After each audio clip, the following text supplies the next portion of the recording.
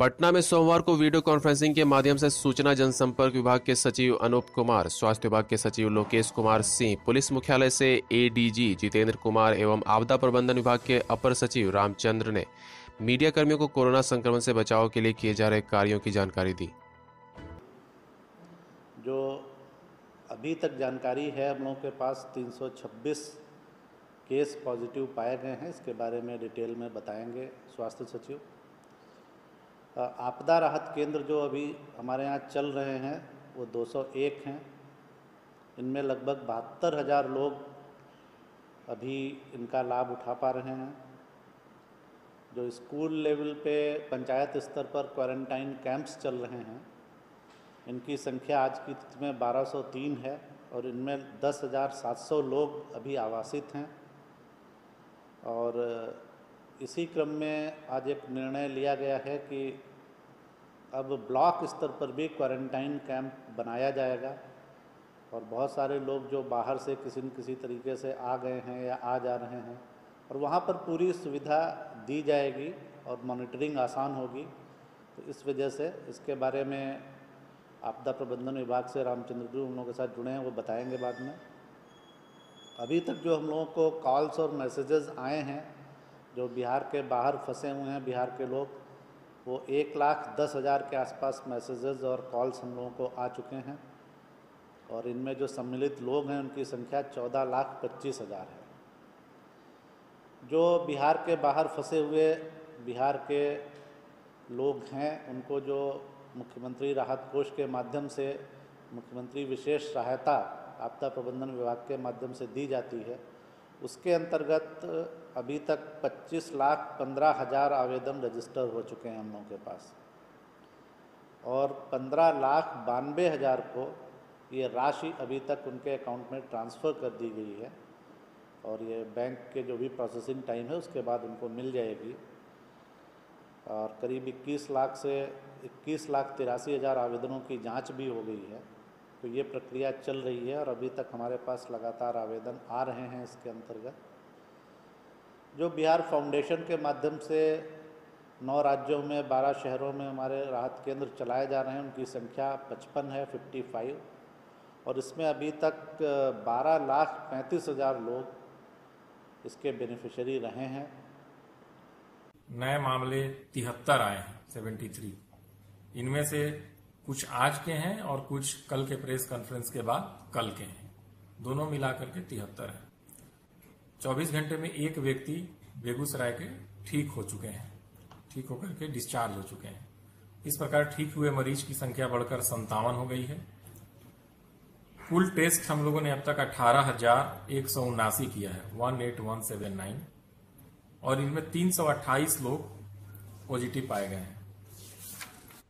Active case आज के date में जिलों में दो सौ उनहत्तर है। Two sixty nine positive cases अभी भी एक्टिव हैं, जो विभिन्न जिलों में हाल में चार ज़िले जुड़े हैं जिनमें जहाँ के निवासियों में संक्रमण की पुष्टि हुई है। वे चार ज़िले हैं जहानाबाद, मधुबनी, पूर्णिया और Darbhanga. House to house survey जो हो रहा है, उसमें अब तक हम लोग तिहत्तर लाख बिरासी हज़ार घरों का सर्वेक्षण करा चुके हैं। इसमें से छब्बीस व्यक्ति में बुखार, खांसी एवं सांस लेने की तकलीफ़, सांस लेने की तकलीफ़ के लक्षण मिले हैं और इनमें से 1906 व्यक्तियों का सैंपल लिया जा चुका है। जो लोग आज की तिथि में पॉजिटिव आ रहे हैं, उनमें कई ऐसे लोग हैं जो अन्य राज्यों से बिहार आ रहे हैं और आने के बाद उनका अस्पताल में जाँच किया जा रहा है। तो इसके आलोक में हम लोग सभी से अनुरोध कर रहे हैं कि जब भी वो बाहर से आ रहे हैं तो अपनी यात्रा से संबंधित सूचना न छुपाएँ। हमारे स्वास्थ्य कर्मियों को उसकी सूचना दें और अस्पताल में जाके अवश्य अपना जाँच कराएँ। साथ ही सभी लोगों को एडवाइजरी जारी किया गया है कि बाहर निकलते समय मास्क का अवश्य प्रयोग करें और दो व्यक्ति के बीच में एक से दो मीटर की दूरी रख करके अपना कामकाज करें और इस प्रकार सोशल डिस्टेंसिंग के मानकों का पालन करें। धन्यवाद। ग्रुप में एक प्रश्न किया गया है विदेशियों के बारे में। तो इनके बारे में मैं बता दूँ कि इस दौरान की अवधि में, इस अवधि में कुछ विदेशी जिनके द्वारा वीज़ा की शर्तों का उल्लंघन किया गया था, उनके विरुद्ध फॉरेनर्स एक्ट के अंतर्गत कांड दर्ज किए गए हैं। ऐसे कांडों की संख्या सात है। पटना और अररिया में दोनों जिलों में दो दो और बक्सर, किशनगंज और समस्तीपुर में एक एक कांड इन सात कांडों में कुल विदेशी व्यक्ति जिन्हें गिरफ़्तार किया गया, उनकी संख्या छियासठ है। छियासठ व्यक्ति हैं जिनको गिरफ़्तार किया विदेशी नागरिक हैं ये, जिन्होंने वीज़ा की शर्तों का उल्लंघन किया था, इसलिए फॉरनर्स एक्ट के तहत कांड दर्ज किया गया। मेरी तरफ़ से आज के लिए इतना ही। धन्यवाद।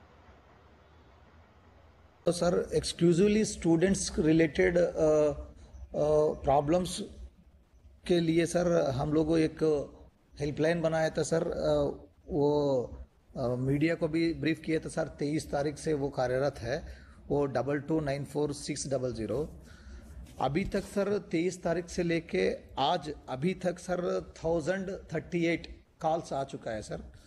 इसमें मेजॉरिटी कॉल्स राजस्थान से है सर 357 उसके बाद सर, दिल्ली से 103 उत्तर प्रदेश से 60 मध्य प्रदेश से 40 पंजाब से 30 वेस्ट बंगाल से 25 कर्नाटका से 23 हरियाणा से 24 महाराष्ट्र से 16 झारखंड से 18 उड़ीसा से 12 और अन्य राज्यों से सर पाँच चार तीन इस टाइप का कॉल्स आया सर। इसमें मुख्य रूप से सर तीन इश्यूज़ के लेके कॉल्स आया है। उसमें सर नाइन्टी परसेंट जो कॉल्स है वो हम लोग घर आना चाहते हैं। हमको आने के लिए व्यवस्था कर लीजिए। इसका नाइन्टी परसेंट है सर। दूसरा फाइव परसेंट है सर जो हमको खाने की दिक्कत है अ, इसका रिलेटेड है सर। और अभी फाइव परसेंट है सर, हम लोगों को पैसा खत्म हो गया, हमको फाइनेंशियल रिलेटेड इश्यूज़ है सर। इसी टाइप का सर मुख्य मुख्य रूप से ये तीन टाइप का इश्यूज़ रिलेटेड कॉल्स आया सर। हम लोग, जहाँ खाने के प्रॉब्लम है सर, हम लोग उन लोगों को खाना उपलब्ध करा दिया है, वो संबंधित जिला प्रशासन से बात करके। और जहाँ पैसे का प्रॉब्लम है सर, उन लोगों को हम लोग जो मुख्यमंत्री विशेष सहायता का रूप से हम लोग एक हज़ार रुपया माननीय मुख्यमंत्री जी का मुख्यमंत्री राहत कोष से हम लोग जो दे रहा है, उन लोगों का ऐप के बारे में उन लोगों को इन्फॉर्मेशन उपलब्ध करा दिया है, सर। और जो घर घर आने के संबंधित है, सर, जैसे, सर एम एच ए के गाइडलाइंस के आलोक में हम लोग उन लोगों को बता दिया है, सर। सरकार का जो आदेश होगा, उन लोगों को फिर, हम लोगों बताने के लिए उन लोगों को इंफॉर्मेशन दिया है सर थैंक यू